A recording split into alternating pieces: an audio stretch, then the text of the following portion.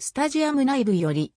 正面には観客席がなく、映像装置とヤシの向こうに水面が見えるセントラルコーストスタジアム、通称ブルータンスタジアムは、オーストラリアニューサウスウェールズ州ゴスフォードにあるスタジアムである。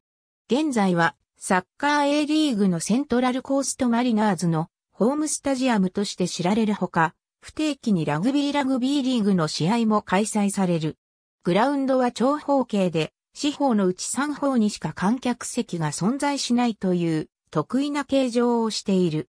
スタジアム南側が道路を挟んで、ブリスベンウォーターという入り江に面しており、グラウンドとの間には、大型映像装置とその背後に、ヤシの木が立ち並ぶのみである。シティレールのゴスフォード駅から徒歩圏内の距離にある。現在のブルータンスタジアムは1990年代末に建設が始められ、2000年に完成した。当初は NRL のノーザンイーグルズがホームゲームの半分をこのスタジアムで行い、もう半分は別のスタジアムで開催していた。しかしこのチームは2002年のシーズン途中でゴスフォードを離れ、このスタジアムを本拠地とするプロスポーツクラブがない状態がしばらく続いた。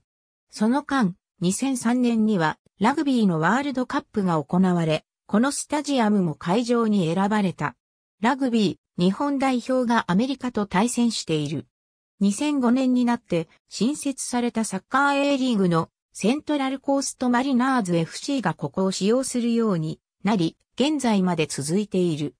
また、2007年にはラグビーの全国リーグであるオーストラリアンラグビーチャンピオンシップが発足し、セントラルコーストレーズがこのスタジアムをホームスタジアムとしたが、リーグ自体が1年限りで消滅した。このスタジアムはネーミングライツの移り変わりにより、ノースパワースタジアム、エクスプレスアドボカートスタジアムなど様々な名称で呼ばれてきた。現在の名称はネーミングスポンサーのブルータンブルワリーにちなむ。ありがとうございます。